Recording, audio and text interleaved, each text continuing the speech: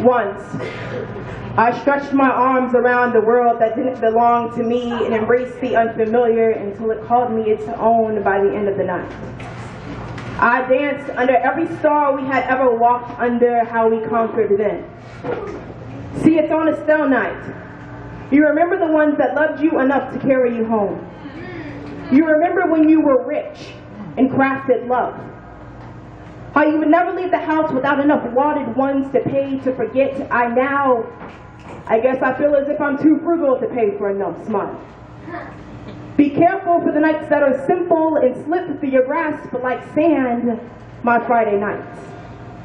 See, the, even in the mixture of the birds and the bees and this spiked honey, it calls me out by the confessions on my sleeves, I know. I got too many gods to worship and too many books to read. This acquired taste to thicken skin I am.